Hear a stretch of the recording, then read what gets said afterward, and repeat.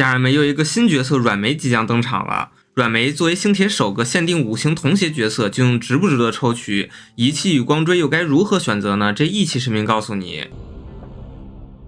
软梅兵器同邪角色，软梅的小技能简单来说就是释放战技后获得弦外音这个 buff。当每次拥有这个 buff 时，可以让我方全体的伤害以及破盾效率提高。软梅的大招简单来说就是持续两个回合全属性的抗性穿透，说白了就是大招是增伤。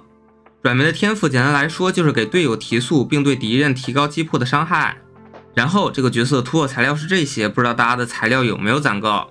下面讲一下仪器与光锥的推荐。因为软梅主要是依靠拐人能力以及击破特工的，所以仪器方面推荐怪客四件套搭配盗贼两件套，或者这里也可以携带信使四件套搭配龙骨两件套。主饲料推荐生命衣、速度鞋、生命球、充能绳。副饲料推荐击破大于速度大于生命大于防御。下面讲一下光锥的推荐，光锥首选软梅专武镜中故我，这个武器可以增加七波特工以及队伍整体造成的伤害，与此同时还可以恢复战绩点以及全体技能能量。算得上是一个非常全能的光锥了。除此之外，推荐但战斗还未结束，增加充能以及战绩点，并且还可以增加队友的伤害。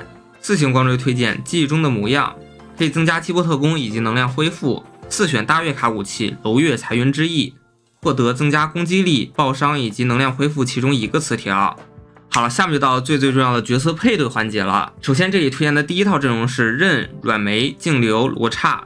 软梅进入这个配对后，可以让双 C 的伤害更上一个台阶。